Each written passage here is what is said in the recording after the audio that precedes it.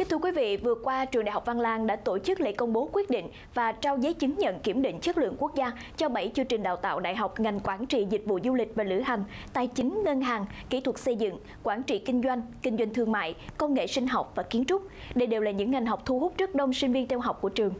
7 ngành đào tạo đạt chứng nhận kiểm định lần này của trường Đại học Văn Lang là kết quả của hai đợt kiểm định trong tháng 6 2021 và tháng 1 2022. Đoàn chuyên gia đánh giá ngoài thuộc Trung tâm Kiểm định Chất lượng Giáo dục, Hiệp hội các trường đại học cao đẳng Việt Nam đã hoàn thành đánh giá ngoài với nhiều phi khảo sát và làm việc tại trường Đại học Văn Lang. Kết quả đánh giá ngoài của Trung tâm Kiểm định Chất lượng Giáo dục, Hiệp hội các trường đại học cao đẳng Việt Nam là cơ sở công nhận chất lượng kiểm định quốc gia. Theo lời khuyên của chúng tôi ở góc độ của những người kiểm định thì hãy chọn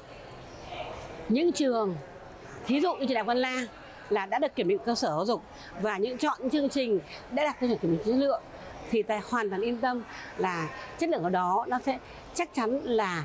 có uy tín và được công nhận trên thế giới. Ngoài tham gia hệ thống kiểm định chất lượng quốc gia, trường Đại học Văn Lang đồng thời tham gia các hệ thống kiểm định chất lượng quốc tế. Tháng 10 2021, trường Đại học Văn Lang chính thức được tổ chức QS qua Quarterly Simons của Anh Quốc trao tặng chứng nhận xếp loại QS Star 4 sao, thành tích xếp loại QS cao nhất của các trường đại học Việt Nam đến thời điểm hiện tại, khẳng định môi trường giáo dục đại học tại Văn Lang ngày một tiệm cận với tiêu chuẩn giáo dục quốc tế. Ở cấp độ chương trình đào tạo, trường Đại học Văn Lang có 4 ngành đạt kiểm định AUN. AUNQA, tổ chức đánh giá chất lượng của Đông Nam Á, gồm ngành thiết kế đồ họa, công nghệ kỹ thuật môi trường, quản trị khách sạn và kế toán. Nhiều ngành đào tạo khác của nhà trường cũng đang trong quá trình thực hiện kiểm định AUNQA. Cái kế hoạch của nhà trường đó là tất cả những chương trình đào tạo nào đã có sinh viên tốt nghiệp thì đều nằm trong cái plan để uh, kiểm định, để đánh giá, để khẳng định rằng mình đang uh, đào tạo có chất lượng thì ờ, hiện nay thì trường đang chuẩn bị để uh, kiểm định tiếp tục ba chương trình đào tạo uh, thạc sĩ